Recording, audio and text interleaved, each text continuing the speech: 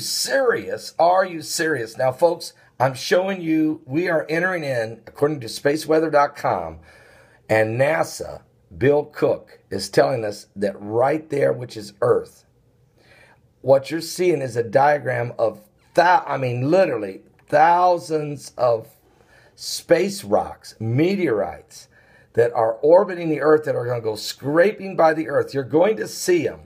People are going to see meteors in the sky real heavy uh, now, but certainly between the dates of August 11th and August 14th. Uh, these are all from the comet. This is debris, all from the comet Swift Tuttle. Now, if you see this purple line, what maybe looks kind of blue among all the greens, I'm gonna see if I can get my uh, okay, Paul Begley technology. But you see it right there racing by.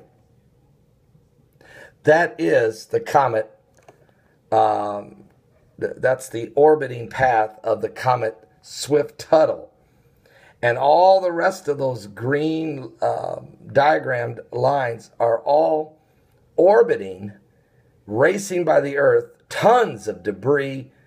Um, meteorites that will be penetrating the Earth's atmosphere. A lot of them will, and they'll be visible. There could be fireballs, and because of this atmospheric compression, we may even have a deep impact with something that um, not not that I'm concerned, but again, keep a close eye as uh, the heavens are shaking in these last days.